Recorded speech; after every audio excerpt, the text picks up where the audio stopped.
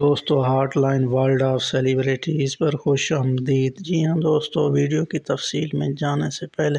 आप लोगों से दरख्वास्त है कि अगर आप इस वक्त मेरे channel heart line world of celebrities पर नए हैं तो मेरे चैनल को